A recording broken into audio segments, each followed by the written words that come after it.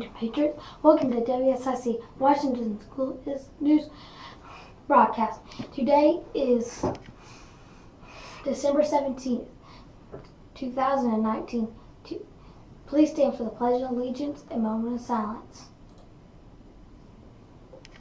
I pledge allegiance to the flag of the United States of America, to the republic for which it stands, one nation, under God, indivisible, liberty, justice, and all. Now time for the moment of silence.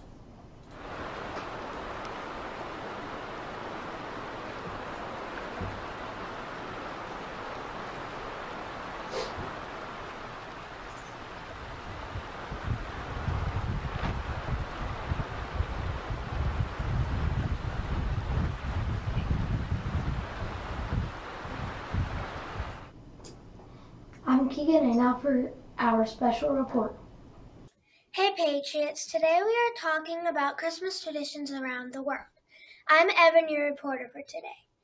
Some Christmas traditions are Christmas trees, stockings, candy canes, cookies and milk, and the creation of nativity scenes deprecating the birth of Jesus. Some Christmas things that you can do as your as a family is you can make cookies or you can decorate your Christmas tree together. And another idea is you can go watch the Nutcracker or read Christmas stories. Many dancers and actors and singers work many for many months to make a great show for us to enjoy. Christmas traditions help us make memories, and I hope as a family, you have time to celebrate your traditions, maybe new ones too. So have great memories. Now, Hello, Patriots! Today we are going to talk about the Santa Train. On November 23rd, it begins on Shel- Shelby, Kentucky, and makes a dozen stops before rolling into downtown Kingsport.